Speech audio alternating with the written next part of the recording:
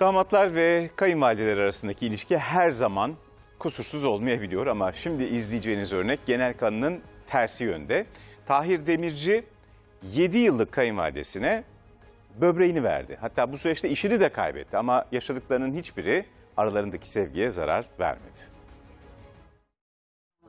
Kaynana damat pek genelde geçinemez diye arkadaşlarım çoğu çevremdeki insanlar, sevdiklerim insanlar hep kaç para aldın diye sordular bana işte ne, yani ne kadar aldın söyle bize çak- çaktırma ev mi aldın araba mı aldın diye. Damat hiç düşünmeden zaten verici olarak başvurdu. Allah herkese öyle evlat versin.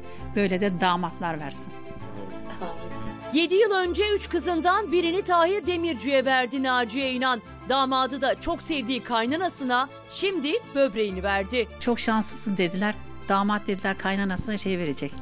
Böbreğini verecek dedi. Dedim Allah razı olsun benim damadım dedim çok iyidir dedim.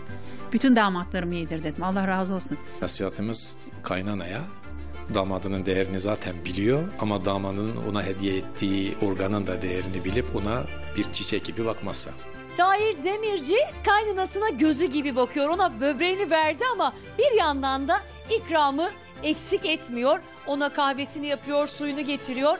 Onu canı gibi seviyor. Ellerine sağlık güzel olmuş. Afiyet olsun. Damat Tahir Demirci kaynanasını diyalizden kurtardı. Ona böbreğini verdi. Arkadaşlarına da alay konusu oldu. Ne kadar para aldın dediler ne yani ne yaptılar sana kaç milyon verdiler diye. Damat pek genelde geçinemez diye arkadaşlarım çoğu çevremdeki insanlar, sevdiklerim insanlar hep kaç para aldın diye sordular bana işte ne yani ne kadar aldın söyle bize çaktırma ev mi aldın araba mı aldın diye.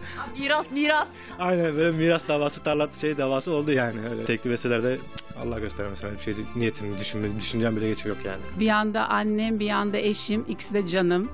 Ee, ikisine de ben baktım bu süreçte. Hastane yoğunluğu falan. Sen yardımcı oldun mu babanla anneannene? Evet. Neler yaptın?